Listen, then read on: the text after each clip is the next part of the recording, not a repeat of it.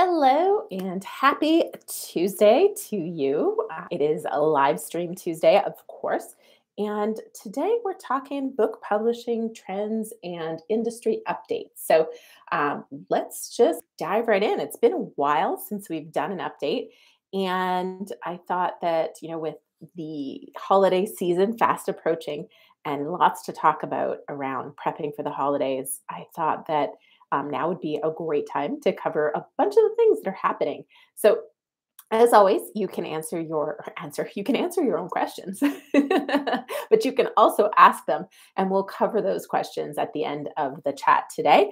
Uh, we've got Angela in the house saying hello, and she will collect all the questions for me. And of course, as you arrive, please say hello. Let us know where you're coming from. Hey, Efren, great to see you here. And uh, and so feel free to say hello at any time if you're watching the replay. Let us know that too. Of course, replays still qualify for winning prizes. Um, but we do have uh, kind of leading into the topic today. We're going to be talking about supply chain challenges, and we're finding supply chain challenges supply chain challenges. it's kind of a funny one.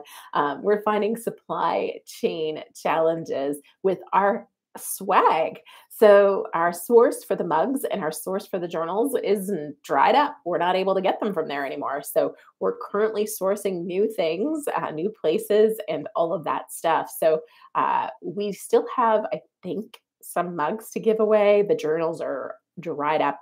Um, we do have new T-shirts though. So uh, anyways, we will, and of course, I still have a few of these, but we're saving some for our holiday extravaganza in December to make sure we've got great prizes for all of you then. All right, so let's just dive in. Hey, uh, Mike's here, William's here. Awesome. Live stream universe is here too. Uh, great to have all of you in the house. And okay, so I'm just going to kick it off. So today we're talking publishing industry trends, book publishing, things you need to know as we wrap up 2021 and roll into 2022. One of the things that comes up all the time uh, in my conversations with people is they they often are really focused on getting an ebook out there. And some of this is because of the funnel building aspects.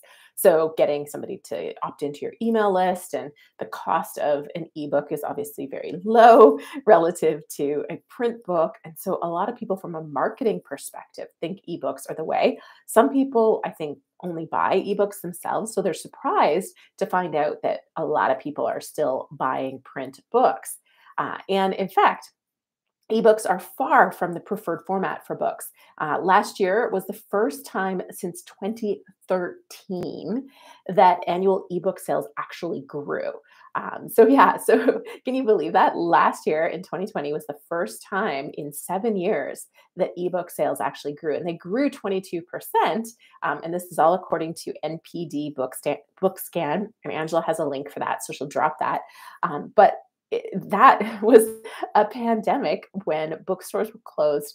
And I'm sure you guys remember the start of the pandemic when people were bleaching anything that was delivered. They were all terrified to touch anything that somebody else has touched. So, you know, ebooks obviously seemed more desirable than a print book, which could have been contaminated, right? Um, now that's changed in 2021, and ebook sales are now down 8% versus 2020. Uh, they're still up over 2019, um, so it's still bigger than pre-pandemic. But the book sales are, are you know, the ebooks are still uh, trending back down to where they were a little bit more. Um, but the thing to note is this isn't even a quarter of the book market. Um, print is still by far the preferred format for book buyers. And I didn't uh, books and MPD NPD Bookscan doesn't uh, or at least in the free data that we had access to they don't break out audiobook versus soft cover versus hardcover versus um, ebooks. I can't break that out precisely for you but my big message to you um, no matter what kind of author you are but especially in the nonfiction space you want to have a book in a print format as well as in an e format ebook format at a minimum. And I still highly recommend audiobook if it's in the budget. So, ebooks, they're important, but they are not the big chunk of the market. You really still need that print book.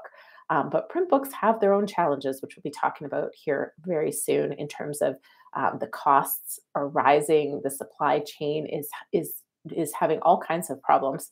Um, so we'll talk about that in a sec. Um, but there was also on Publishers Weekly and NPD Bookscan, they put out their top 10 selling books of September 2021. I always like to take a peek and see what's hot at the moment and, and just, you know, snoop around, see what trends are. And so um, I'm curious if anybody here knows what the number one selling book, um, and this is in all books, uh, was in September 21. Anybody got anybody got a, a guess for me? Mindful Eats, hello and welcome. Um, and let's see, uh, William, looking at my bookshelf, you're right. Yeah. Kit, try moving an apartment with thousands of physical books. In the tropics, books grow mold. Yeah, for sure. I've moved so many times in the last decade that I, I used to have three big bookshelves full of books. Um, and now it's down to basically our clients' books and probably 10 to 20 different books. So I have a very very small bookshelf now. Um, but uh, it was sad, but I, I, hope that somebody's enjoying all of my books because I donated them all or gave them away. So um, I love both ebooks and print, Angela says.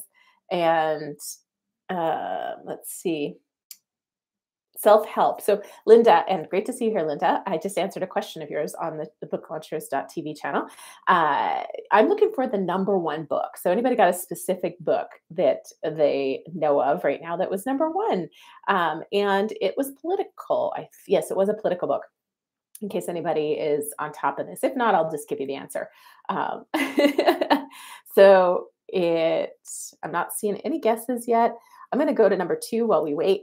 Change Sings is actually a children's book um, by a a presidential uh, what was what was she called a presidential cartoonist or something it was very interesting that there was actually like a presidential title attached to her name but amanda gorman uh, so that was cool uh, she her book came out in september uh, american marxism was number three from Mark, I think Levine is how you say his last name, but it could be Levin. I'm not sure. I know he is a commentator on Fox and has written some very popular books. Um, that book, I was checking out these books on Amazon and it's incredibly well reviewed. He has, I don't even remember how many, um, like 17,000 five star and he's got a five star review total which is very rare to see so that book is um, very well reviewed at the moment it has its one star reviewers, of course, but when you have that many reviewers giving you five stars, uh, it ends up netting out. It ends with Us, which is a fiction book. Apple ne- Apples Never Fall, which I believe is a fiction book as well. The Wish, it sounds like a fiction book to me, but I don't know. Little Blue Trucks Halloween, which, funny enough, is the only book on the top 10 here that I own. Little Blue Trucks Halloween um, beep, beep, beep, a little blue truck. yep, indeed. Uh, and then Beautiful World, Where Are You was another one. Um, and uh, Billy Summers uh, by Stephen King was number nine, and Dogman, Mothering Heights by Dave uh, Pilkey. Pilkey, I don't know how, but uh, that's another children's book, I believe. It's it's Scholastic Books. So the number one book. Do we have any takers? Let's see. Um, first pronunciation is correct. Thanks, Efren. I wasn't sure. Um, and and Efren said he met him was a humble man. That's very cool. I always love to hear that. Uh, let's see. Okay, nobody nobody's got it. what Mike thinks Mike thinks the Little Blue Trucks Halloween is Jackson's book. What? yes, um, in fact it is. But I it's actually one of my favorites because it's one of those books where you can pull open the flap and it's you know see who's dressed up in the costume. yeah, it's good times. I like the Little Blue Truck series. Hey, Benny. Um, okay, so the number one book is Peril by Bob Woodward. Um, Simon and Schuster published that in September, uh, and Woodward has previously written a political book. I think it was called Rage, uh, which did incredibly well. This book is not doing as well, but it's still number one, so it's doing okay. Uh, so that was September. Um, we now let's get to the thing that's you know more relevant to you guys paper shortages and supply chain issues. So, if, first of all, right now, if you have a launch coming up in November and December, um, you need to be aware that even things like your print proof is going to take more time. But if you have any sort of event coming up, you need to have ordered your books already. Um, and if your event is in December, you need to order your books today. Uh, it is really, really important that you are ahead of the game on book ordering. Um, Ingram always has a holiday slowdown. They always extend their window of time that it will take to ship you author copies, uh, but it's even worse right now. And Ingram is also faced with labor shortages and increased labor costs. Um, so I, I, I saw something, and I I can't remember exactly where I read this, but it sounds like they're paying their people less than a lot of the other places um, that are kind of in the same warehousing kind of jobs, right? Like Walmart and some of those other people. And Walmart apparently has better benefits than Ingram. And so Ingram's really suffering from labor shortages. Um, and then something I think a lot of companies are seeing challenges, and we're going to see um, if a lot of the things I'm reading are right about November, um, we're going to see a lot of a lot of uh, challenges coming up in the kind of labor market as a lot of big companies have mandates that are kicking in next month and a lot of people are a going to be fired or b they're going to walk off um, and so it, there's lots of predictions and people kind of saying this is going to happen and this is going to happen um, but regardless of that speculation, what we already know is there's a lot of labor shortages already. Um, and there's also challenges because people have, you know, and I run into this too.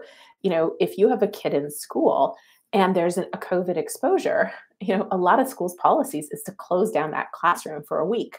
So now you've got people that have kids at home. Um, so if they normally work in a warehouse and they don't have somebody that can take care of their kid, now they're not in that warehouse. Um, now they're not as part of that logistics uh, chain. So there's lots of challenges. Um, there's also some weather issues and some other things that are forecasted to impact this. And all of that's on top of the fact that the paper supply chain has dramatically almost crashed. Um, and then FedEx has announced price increases, which has put limitations on some of the shipping and delivery. Um, and so ultimately, this has put a ton of strain on Ingram, which is the main. Um, for us, Ingram Spark is one of the main print on demand suppliers, but it's also the main catalog that bookstores are ordering through. And it, it's really, it's I, I, we've already seen their hardcover prices go up. And I think it's reasonable to project that we're going to see higher fees for other things, um, whether they start taking a bigger percentage or they start charging um, more for rush orders or something else. That way, you know, their costs are going up, their supply is going down. You know, inevitably that is going to mean that the prices are going to, uh, you know, get pushed up onto the author and the publishers. Um, will we see retail prices go up? Um, probably, but in in book publishing prices tend to go down the price the price pressure tends to push the prices of books down not up so we might see slight increases but it tends to be the publishers and the authors that end up having to absorb these price increases. So it's going to be interesting. Nobody knows for sure except for to say that the holiday slowdown um, book ordering times you know supply things it, these are going to be issues. So like i said if you've got events coming up and you want to have hard copies of your book order them well well in advance. Um, and if you have a launch coming up make sure everything is done substantially early so if you have a December launch, you really want to make sure everything is final. You're getting author copies sent to you right around now. So everything is going to be in place because if there's something wrong and you're trying to get last minute support uh, in this space through various channels, it could be very, very challenging. Um, you may even a lot of the traditional publishers um, now they get their books shipped from China, and so they you know if they're not on a boat now the chances are they're probably going to have supply issues. So there we're already seeing a lot of launches that were scheduled for the november december timeframe getting pushed into 2022 in anticipation of these issues and and just having more time to make sure that the book is not out of stock and can't be bought because that's a sale that is very hard to get back afterwards. So whew, so much. Um, so next up, I'm gonna just take a pause and see what you guys are talking about because I can't can't focus on this and read your comments at the same time. But next up, I've got some cool stuff because um, that was kind of a downer. So now I've got something cool coming from the Canadian independent bookseller space and even the American um, independent bookseller space. They just had a big meeting. I think it's actually still going on today, um, talking about innovative ways to uh, keep generating momentum and movement and get people into stores and all that fun stuff. Uh, but what Canadian independent booksellers have been doing is really, really cool. So I'm excited to share that if you guys aren't aware. Um, let's see, here we go. Um, doesn't look like you guys have had too much to say. You're quiet today. we better do a participation prize. Uh, let's see. Um, what can we do for participation? Well, if you don't already know, uh, usually we just just for saying hello, we usually have prizes. So make sure you say hello. um, and Mike says we already have labor issues here after Brexit, and it can only get worse. Yeah, it's that, and it is a downer. Um, so it's one of those things where every time there's the downside of something, I always try to look for the opportunity. So, you know, being more prepared, being the one that has books on hand, making sure that everything is right, that's the opportunity here. But also, you know, ebooks, audiobooks, you know, what are some of those things that you can do? Generate momentum, generate sales, generate excitement for buying your ebook, buying your uh, your audiobook and all that kind of stuff. So Michael just said hello, and and, uh, and Marna was hiding too, and Shirley. See, this is how we get you guys out of the woodwork, right? Okay. Um, and Efren said loud noises. I don't know what that means. Uh, it shouldn't be too loud in here. okay. And Michael, hello.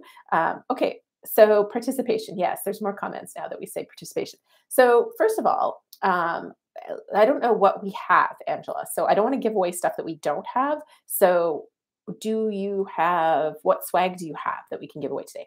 I have some swag but it's in a very specific size.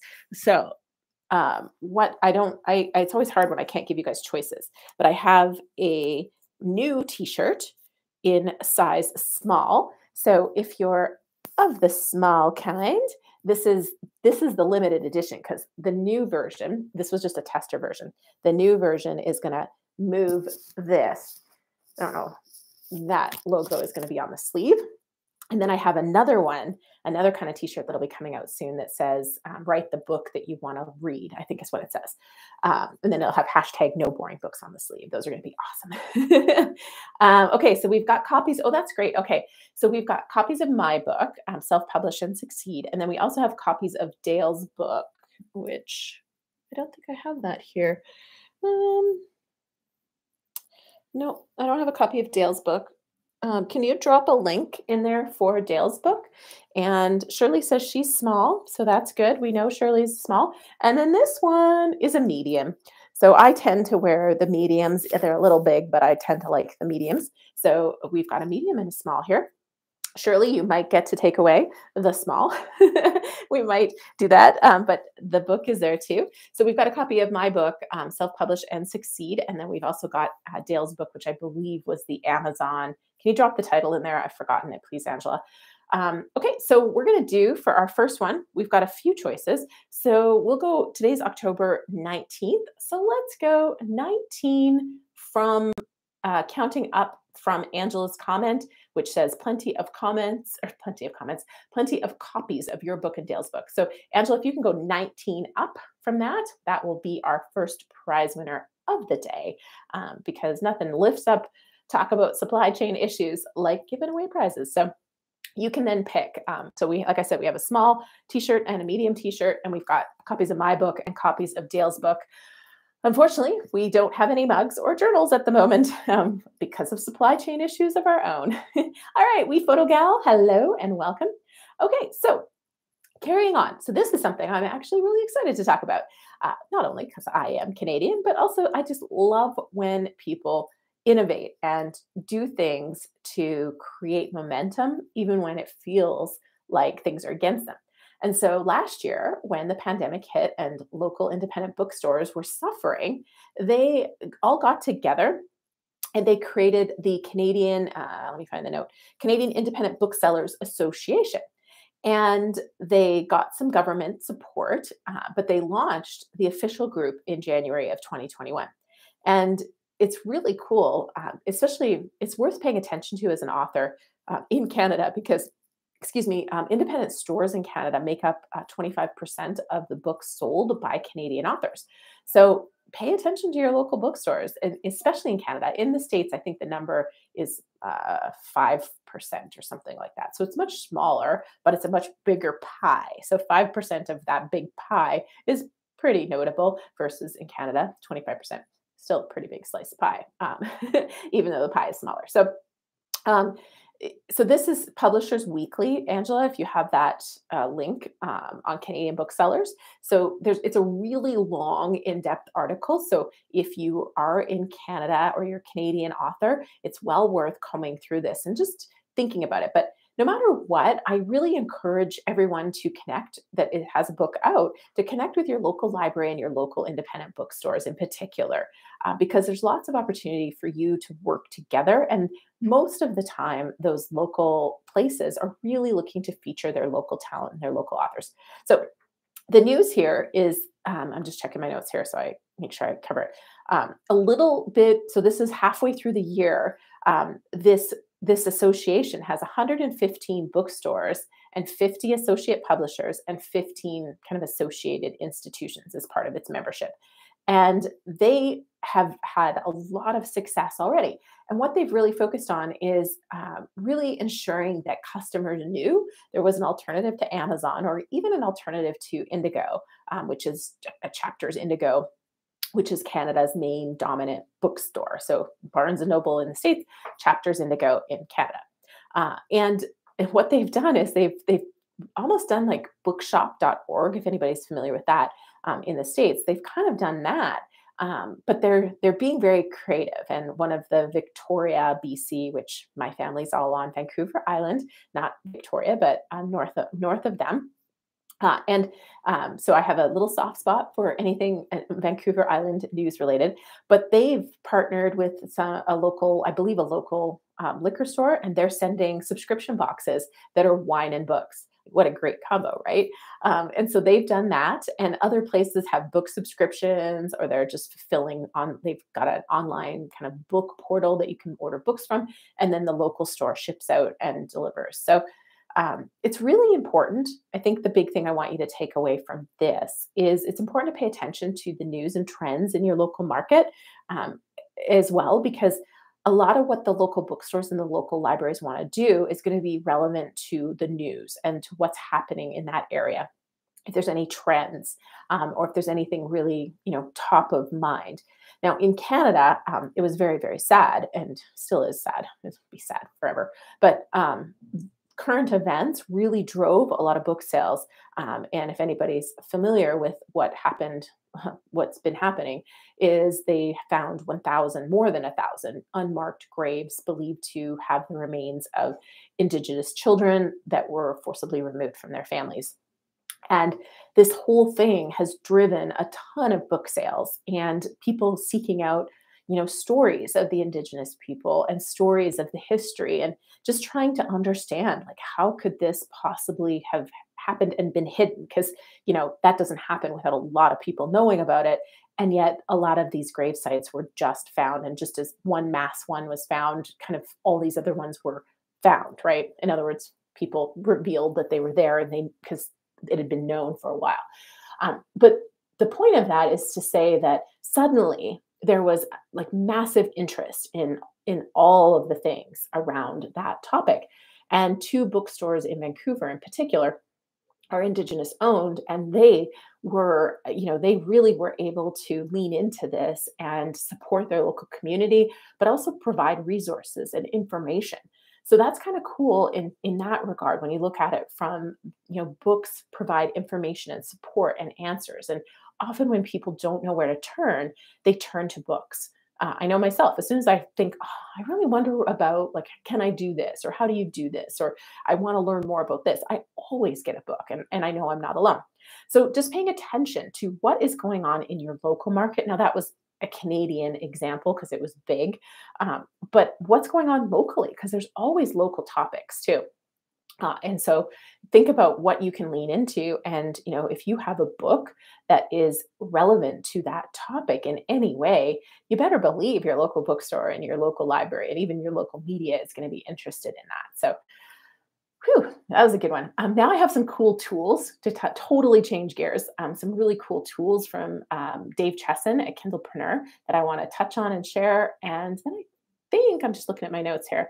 I think that was basically all I was going to talk about. And then we can just do questions after that. Um, let's see. Uh, Linda Kaylee was the 19th comment. Awesome. So, Linda, congratulations. And uh, you can choose between the Dale's book and Angela posted the title, I believe, is the Amazon Self Publisher. Thank you. Um, I wrote the foreword for that book, which was cool. Uh, so she has copies of that book. She has a copy of my book, Self Publish and Succeed. And then we have a, a small of the black t shirt or a medium of our red t shirt. So those are the two sizes that remain of the limited edition, the, the test versions of those t shirts. So, Linda, email Angela at angela at booklaunchers.com and let her know what prize you'd like and where she should send it. All right, cool. So, um, oh, I think we just gave we gave the small to Shirley. Sorry. okay, we'll do that. That's okay. Um, so the small shirt has been spoken for. Um, okay, Matthew. Hey, great to great to be here. I almost published a comic style pot growing guide. That's awesome. Um, okay, so where are we? Okay, so Kindlepreneur Dave Chesson. Um, he has probably he's created the tool that I recommend the most, which is Publisher Rocket. We use it pretty much every day for category research, keyword research, pricing research, and all the things. Um, so, uh, Angela has our affiliate link. If you haven't already got this tool and you're running Amazon ads or you're doing keyword research uh, more than a couple times a year, you absolutely need this. Um, booklaunchers.com forward slash rocket is our link. Um, but he's also come out recently with a new software called Atticus. And I'm excited because I'm going to be going to the um, 20 Books to 50K event, which is happening here in Vegas in a couple of weeks. And he's going to be doing a test, like he's going to basically do a walkthrough of this software there. So I'm going to check it out because um, there's a few things about it that I'm really excited about. It's um, it's essentially a layout tool, but it's something that you can start using early on. So it fills the gap that um, because we don't really like Google Docs. Um, we've talked about that a few times. If you were on our deep dive um, last month, we talked about how Google Docs puts in all this nasty code. And so we have to strip it basically clean of all formatting in order to then format it um, to lay it out for the interior. So you lose all your bolding, any headings, all that stuff. Um, so we don't love Google Docs, but this one provides the benefits that Google Docs has, which is you know stopping to have 5,000 versions because we do have that with Microsoft Word. Every time your book goes to an edit, you know it, we have to rename it, and you have to be very careful about draft confusion and all those kind of issues that pop up. Um, so this has that kind of cloud-based editing, so you can have one version on underway. Um, it has uh, editing features. I think it's even got integration with Pro Writing Aid which is kind of like Grammarly. And I'm just looking at my notes here. It's for PC because Vellum, which is the other major layout tool, is only on Apple. And um, let's see, it says Atticus is clearly trying to beat Vellum in the market, and it's likely, likely to beat out other solutions that PC users have landed on. Um, and when it, and then this is a, an I'm not sure where I actually got this quote from, but it says when we asked Chesson why he decided to start this venture, he said uh, there was too many authors who used PC and could not use Vellum to format their books. So, um, yeah, so that's basically all I'll say about it. I haven't tested it myself. Like I said, I'm going to see it when he comes to Vegas in a couple of weeks, and I'm going to check it out.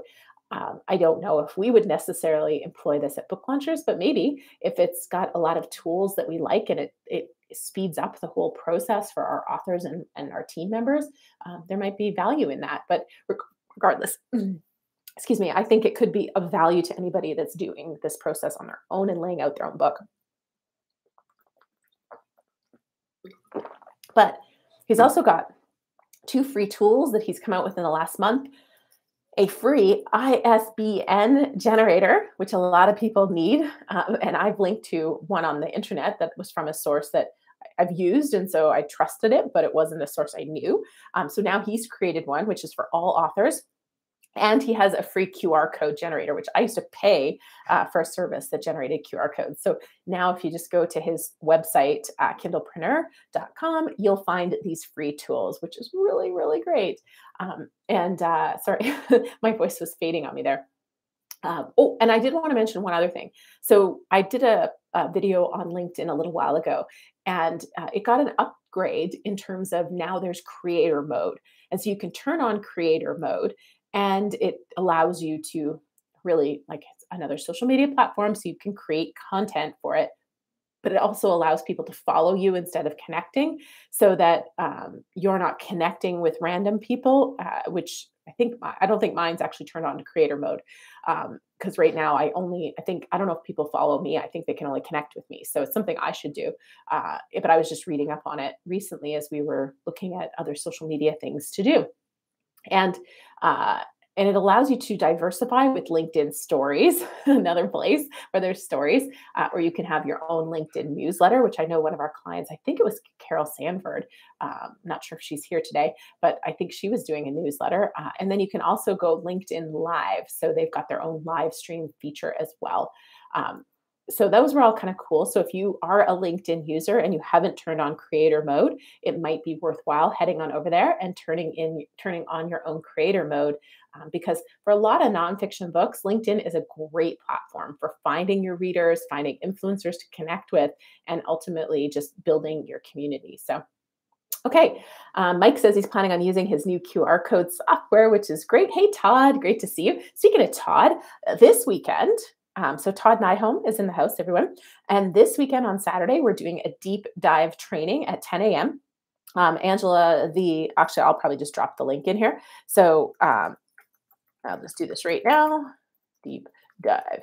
Okay, so I just put the link in the chat. Um, so Saturday, 10 a.m. Pacific Standard Time, we're doing a deep dive. And by your guys' request, I've asked five of our authors to join in. They're going to share their biggest surprises, the lessons they've learned, and you know just be there to answer any of your questions um, from people who are in the midst of doing their books. And I don't know, Todd. I have I'm kind of all mixed up because I'm at home and at the office back and forth. I was just going to show everybody Todd's latest book release, but I think it's at home. um, oh, I have your old one though. This is Todd's first book. Um, ah, food. Why do you trouble me so much? And his newest one, which is I think pretty much is it Ah Brain? Why do you trouble me so much? It's it's a it's a series, and so Todd's going to be there. Todd's going to be one of our authors, and we have four other authors that will be there. So please join in. Um, it was our most popular session that we did, I believe, in June. We had some authors come on, and uh, everybody said, you know, do more sessions with the authors so that you guys can learn from other people, you know, either in the process of launching or have launched a book. In Todd's case, he just launched book two. Uh, so that's fantastic. There's going to be some really, really great insights and lessons to share there. So I'm excited. Um, okay, I'm just checking over here to see. Okay, I am going to now go and do our YouTube comments. Um, but if you win today, we are limited because we don't know when we're going to get um, some new swag. so I, I'm going to keep it to winning uh, my book or Dale's book today. Um, so sorry to everyone that was hoping for swag that's that's been commenting on the YouTube videos. You could just hang out and go on a list. Angela could keep a list for when we do get new swag. Um, but like I said, our sources have stopped offering them. So we are out. okay, so everybody who comments every Tuesday, uh, every there's new videos every Tuesday and Friday, and when you comment the day a video is released, you get entered to win. And here is our random name picker today. Uh, and okay, sorry, I got an error. Oh, somebody had something funny in there. Okay, the first winner is the purple UFO. Congratulations and thank you for your likes, shares, and comments, of course. So email angela at booklaunchers.com and check in on what prizes are available and let her know um, where to send them. And then our second prize goes to Robert Newkirk. I think these are both new winners today. So, congratulations, Robert. Thank you so much for your comments. And uh, we'll be doing this again in two weeks. And hopefully, we have some more positive news on the swag. Um, there is some super secret swag, but I think we're saving that for the holiday extravaganza and for some of our clients that get caught being awesome. We've been sending that, I think. So, um, uh, we photo. I won the book already. Yay! Uh, okay. Yeehaw, purple UFO. uh, okay. Um, okay, so uh, Deborah, I thought that you, I thought you got the book and it fell apart, and then I think Angela was already sending you a new one. So, um, anyways, uh, we'll make sure that you get taken care of on that regard. So, what are the questions that you guys have for me today? Because that was the content that I have. So, um, I'm just hanging out here reading your comments. Mike says it's 10:33 p.m. Yay! it's late. Thanks for being here. Um, I love your work, book launchers. Thank you. Uh, thank you, Matthew. Um, we take a lot of pride in our work as well uh, I'm just kicking myself that I don't have I don't have Todd's newest book here because I love it. Um, I do have this one. This one just came out this week. Uh, Harness Your Inner CEO. This is by uh, Becca Powers. So it says Rise into Passion, Prosperity, and Empowerment. I love this cover. Um, and then this one actually just came out. I think this it's Tuesday. Maybe it came out last week. That one might have come out last week too. Um, Fire Your Narrator. This is a great one. Um, it says A Storyteller's Guide to Getting Out of Your Head and Into Your Life by Valerie Gordon. Today, I don't have the book yet. It's coming. It'll be here tomorrow. Is Emil Pandolfi's uh, book launch, and his is um, Play It. Oh, we went through so many title inter- iterations now. I'll get Angela to drop the right title in there so I don't mess it up. And then we also have Brian Krieger's book came out a little while ago. Brian's often here, so I'll show his cover as well. The Courageous Ask a proactive approach to prevent the fall of Christian nonprofit leaders. So those are some of the recent launches here that have hit my um, that have hit my shelf here in the office. Uh, okay, let's check in over here. Angela, the questions. Um, hey, uh, Caitlin, or I'm assuming you go by Caitlin. Um, could be Catlin, but I think it's Caitlin. Okay, Angela, I'm just waiting for questions. oh, wait, I've got one. Okay, so this one is from Mindful Eats. Can anyone please remind me of what's the best way to edit your text on Amazon? My son uploaded a coloring book and his text is in block. So um, inside of your mm, KDP, uh, if you went if you uploaded it through KDP Print, uh, inside of there, you're going to have to get some HTML coding, which is another thing, by the way, that Publisher Rocket does. They have an automatic HTML coder to make your book descriptions look so pretty, so you don't have to know code. Um, so you can go in there, enter it all in, format it, and then it'll give you the code to put in there. So um, that is how you can make your description look good. Um, Amazon Author Central also has some formatting that you can use on um, i'm not sure if it's just your editorial reviews though it might be your description as well um, somebody else might know um, this is where jacqueline our production manager or melissa sobey our production supervisor they do that stuff every day so they're the ones that could give you very precise answers for how to do that um uh, Julie, what time is it for you right now? It is 2:38 p.m. I'm on Pacific Standard Time in Vegas. So um, play it like you mean it. It was that. Okay. I was going to say Emil's title, Emil Pandolfi, he, his book launches today. Um, his book is a really cool uh, book about, you know, learning, learning to, not learning to play the piano, but becoming a professional person in the music space. And so if you've already got a base level and you want to be a professional, this is all about technique and mindset to really shine when you get on stage when you get in front of an audience. Um, and it's it's it's a phenomenal book and he's been a blast to work with. So um, we're really excited for that. Okay um, question two are those isbns compatible with amazon? I'm guessing they must be.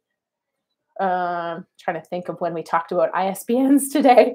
Uh, probably I don't remember when we're talking about uh, when we were talking about ISBNs, but um, yeah, sorry, I don't remember talking about ISBNs today, but the answer is probably. uh, okay. Um, play it like you mean it. Okay, are there any other questions? I don't see any other questions. Uh, just looking here to see. Um, oh, I mentioned Oh, it's not an, did I say ISBN generator? Oh, yeah, sorry, the ISBN generator. So, yes, what that generator does, it doesn't generate IS, the number, it generates the code. So, it's the ISBN barcode generator. I probably didn't say all of that. Thank you, Angela. Um, and so, what it does, the, this barcode, when you go to Bowker, um, B O W K E R to buy your ISBN, uh, it often tries to upsell you an ISBN barcode generator, which you feel like you need. So you almost pay them for it. But I'm always telling people don't pay them for that generator because there's free tools. Your book designer can do it. When you, if you're only uploading to Amazon, they'll create one for you on your book cover. So, um, but now Dave Chesson has created one so you can have it you can make your own without paying and you don't have to rely on a book cover designer and all those things. So it's the barcode generator. It's not the ISBN generator. Sorry if I misspoke on that.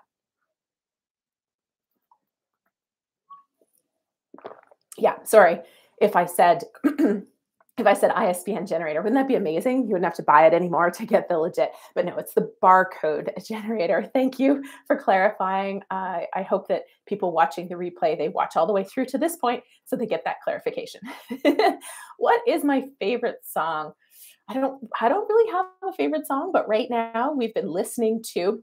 Um, it's called Astronaut, and I it's by a bunch of artists like rap artists it's a remix and my son loves it and i have taught him instead of the bad words i've taught him one of the main bad words is uh, the word that sounds like ship and because it's down in the deep and, so, and all that kind of stuff uh, an astronaut in the ocean i've told him that that word is actually ship. So when we sing the song we're talking about the ship instead of the word that ends with a t. Um, so that i've been enjoying that song with my son okay, Gabriel says hello and heading off to work. I, well, I think uh, I think we are uh, all done here for the day. So that's it. So I'll see you guys back here in two weeks, but I really hope to see most of you on that deep dive on Saturday at 10 a.m. Um, register at booklaunchers.com forward slash deep dive. We're going to have uh, Todd Nyholm and we're going to have uh, four other authors. One has not launched yet, um, but another uh, another one's been out for I think almost six months and I'm trying to remember who's actually on it. I think Emil uh, is Emil one of the other ones. I think Emil is going to be on it, who just launched today. So you'll get that recent perspective. And I am drawing a blank on tight on a on on the spot, but um, it's going to be fantastic because all of these authors are really great people, and I know they're going to give you really honest, to the point, and also uplifting uh, advice to take home with you. So thank you so much for being here today. I will see you all on Saturday and then in two weeks. All right, take care. Bye.